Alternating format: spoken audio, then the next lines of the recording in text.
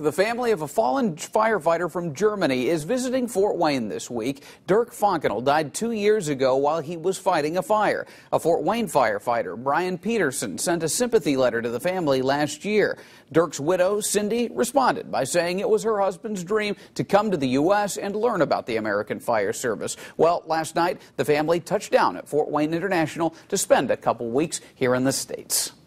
Dirk's family spent the day touring around Fort Wayne and looking at some of the sites. That they did, and our Alyssa Ivinson was with them for most of the day. She joins us live now from Fire Station 6.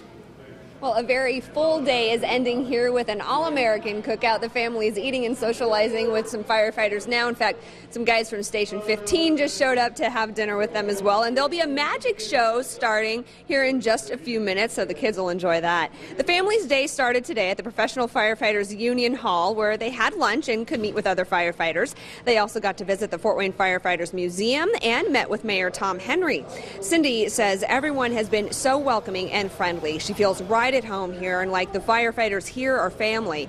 And while they have a very full itinerary of visiting fun Fort Wayne landmarks, even going to Washington, D.C. next week, the reason for this trip is not forgotten. It is in honor and memory of Dirk, their husband and father. Dirk had always dreamed of visiting the United States and seeing how the fire service works here. Now, thanks to donations from the community and the hard work of some Fort Wayne firefighters, Cindy and her sons are fulfilling his dream, and they hope it helps in their own healing process.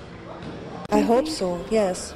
I, I hope it's for my children a healing process. Yeah. That mm. they see there are so many people, they support us, they think about us, and I think it will help, yes. Yesterday, the airport, when, we, when the plane arrives, that's what the greatest for him. To see all the people, that's what the greatest.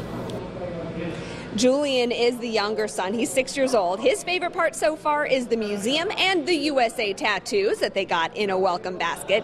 Now, tomorrow, the family will have breakfast at Cindy's Diner and visit the Fort Wayne Children's Zoo. Live in Fort Wayne at Fire Station 6, Alyssa Ivinson, News Channel 15.